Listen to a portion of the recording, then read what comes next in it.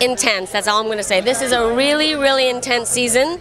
Um, so much change. The, the shift in dynamics, uh, um, friendships broken, friendships repaired, a lot of changes, a lot of drama.